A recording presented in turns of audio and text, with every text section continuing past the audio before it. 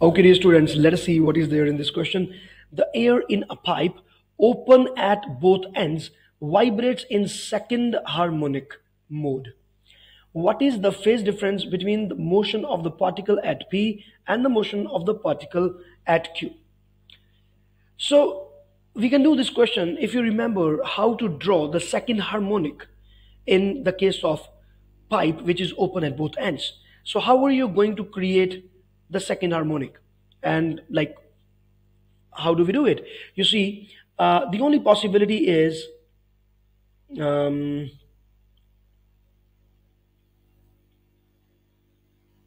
like this.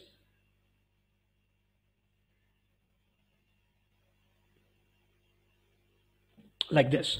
So this is the only possibility for the second harmonic to be drawn. And you can even remember this thing like this is how we draw the first harmonic. This is how we draw the second harmonic like that. Okay, so this is the second harmonic. And now you can see that the point P and the point Q, they are in the um, in the adjacent lobes, in the adjacent uh, harmonic, you can say, or adjacent um, segments.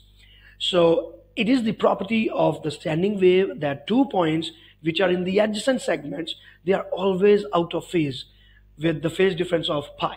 Like if this p particle is moving upward, this q will definitely be going downwards. And let us say there is another point here, which is r. So r will be moving upward again. So it's always alternative. Like one is going up and then there comes zero again and then they move like this and then again zero. So this thing will move like this only there is no other way that it, they would be moving. So if we see this thing, obviously our answer comes out to be equal to pi.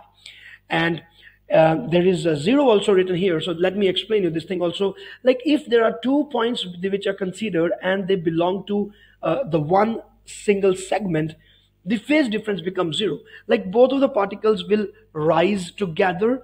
They will reach their amplitude together, although the amplitudes are different. They reach their amplitudes together, they fall back again together, they become zero again together. They go to the downward max together. So all the particles here in one segment, they are having zero phase difference, but uh, the particles which are in the adjacent segment, they are always out of phase, so the phase difference is pi. So my dear students, this is Professor Varun. Please subscribe to the YouTube channel and share the YouTube channel with all your friends. All the best. Bye.